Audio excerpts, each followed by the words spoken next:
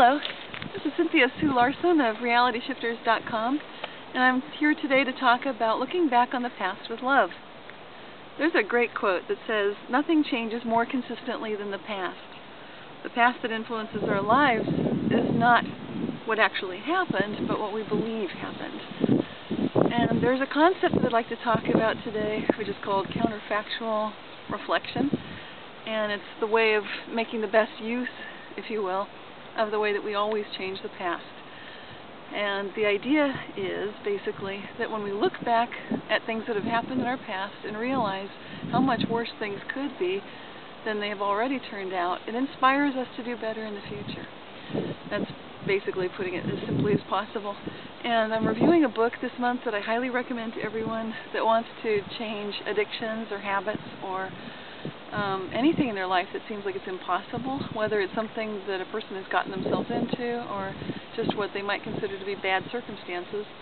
The book is called The Imposter How a Juvenile Criminal Succeeded in Business and Life. It's written by Kip Kreiling, and I give this a very high recommendation for anybody that would like to read a book that's true to life and contains a lot of tips and pointers for how a person completely turned their life around instead of blaming the system or their family or all the sorts of things that are pretty easy to blame.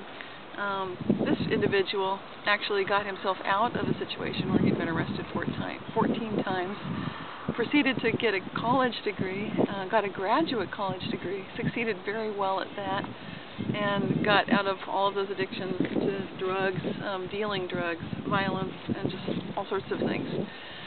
So that's a pretty extreme example. Uh, I like the example because it shows all of us that if if Kip can succeed at something like that, in a pattern of drug abuse where that's part of the family, um, you know, there might be other things such as child abuse in the family. All of these factors um, were just completely reversed and turned around. So I think that gives all of us some hope um, on how we can look back at our past and see the ways that we've pulled ourselves out of difficult situations. Because life is a series of difficult challenges, and the way that we handle them tells us a lot about ourselves and how well we can go forward. So I also had a phenomenal reality shift experience just as I was working on this newsletter in which my daughter came home, or I thought she had come home because I heard the door open. It was unlocked where previously it had been deadbolted. I could easily see out to the front yard, which I can't do when the door is shut. I'd been in the kitchen making dinner, and as I looked out the front door, I could hear her voice, so I knew she was there. And I had just put a casserole in the oven, I turned around, washed my hands, looked back at the front door, the door was shut, dead bolted, and it was completely quiet. Just a moment later, so I walked to the front door, looked out, no sign of anybody there, and then I realized um, that the phone was ringing. So I picked up the phone and talked to a friend who desperately wanted to talk to me. It was something that was important in her life, and if I hadn't been available, she wouldn't have had the chance to talk to me. It was a pretty important phone call, lasted about 20 minutes, and then my daughter actually did come home. And I asked her if she'd come home previously, about 20 minutes earlier. She said no, she had not. This is an extraordinary example of a reality shift to me because it shows if you will, sort of a bifurcation of reality paths. We're constantly selecting realities. And in one situation where my daughter came home 20 minutes after she originally, when I first saw her coming home, well, I didn't see her, but I saw the front door, heard her voice, all that kind of thing. It's like a branch on a tree that had been cut short, and then I jumped into another reality where I was had the time to talk to a friend who even asked me, do you have time to talk right now? And I told her amazingly, yes, I just put the casserole in the oven. I'm alone here at the moment. So it was quite remarkable.